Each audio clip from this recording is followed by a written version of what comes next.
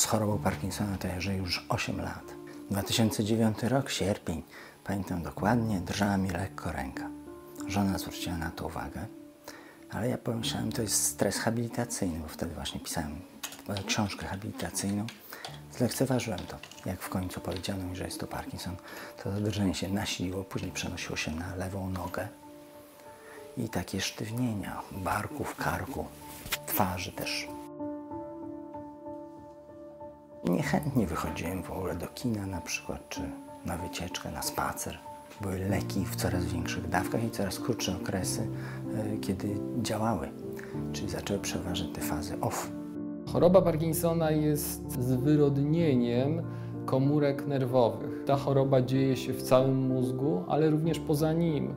E, obserwujemy zmiany w nerwach, które unerwiają na przykład jelito czy ślinianki. Stąd też ta mnogość objawów, która dotyka pacjentów.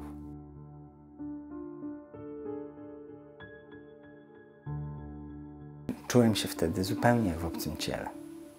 Dziwnie zareagowałem, bo pomyślałem, całe szczęście, że to nie stwardnienie rozsiane albo coś podobnego. Także od razu przyjąłem taką postawę, że okej, okay, mam straszną chorobę, ale są straszniejsze w gruncie rzeczy.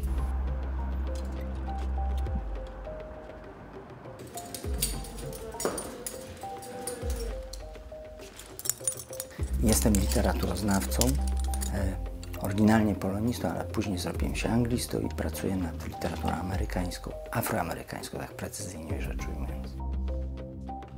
Z pracy rzeczywiście staram się nigdy nie rezygnować. Kombinowałem, jak brać leki. Że tu wezmę większą dawkę, na przykład sam zupełnie, bez konsultacji z lekarzem. Kombinowałem, żeby po prostu zwiększyć maksymalnie swoją mobilność, możliwość komunikacji ze studentami.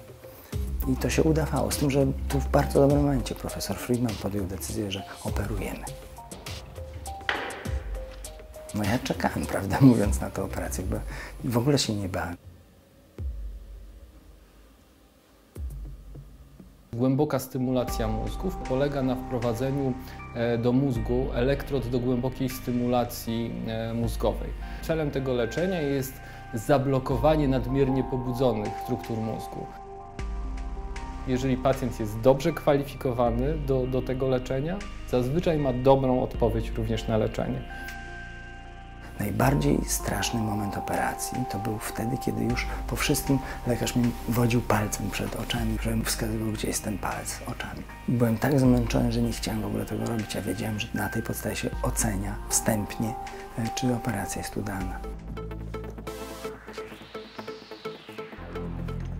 6 miesięcy około byłem w euforii, zupełnie, zupełnym odlocie, takim przyjemnym strasznie. Na basen zacząłem chodzić. Każdy wysiłek bym się każdego podjął wtedy i zarezerwowałem bilety na Lanzarote. Pojechaliśmy tam na wakacje, chodziłem na wulkany, właśnie przyjemne bardzo. Z drugiej strony e, intelektualnie też wszystko wydawało mi się osiągalne.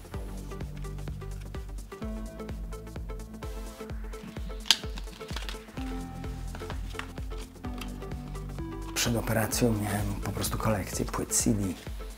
Sporo całkiem, ale jednak tylko i wyłącznie CD. Teraz pomyślałem, że właśnie winyle są możliwe. Jestem w stanie je wyjąć z koperty, prawda, trzymać w ręku, bo jak ręce drżały, to tak niespecjalnie chciałem, bo są po prostu delikatne płyty winylowe. Dzisiaj mam zdecydowanie większą kolekcję niż kiedykolwiek wcześniej.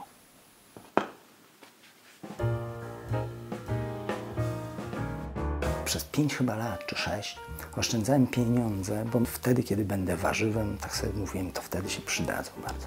Po czym po operacji stwierdziłem, jakim warzywem? Nie będę żadnym warzywem. Postanowiłem wydać te pieniądze szybko. Więc skupiłem y, samochód, tak powiedzmy wakacyjny, bo kabriolet. I no właśnie, tylko że okazało się, że pokusa jest zbyt duża on nie jest wakacyjny, tylko jest całoroczny w tej chwili.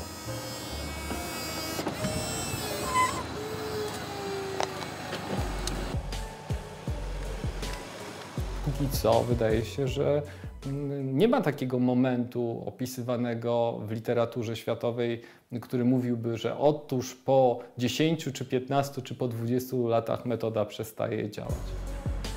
Jestem dwa lata i trzy miesiące po operacji i zupełnie tego nie żałuję.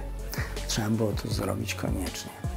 To jest życie wrócone plus.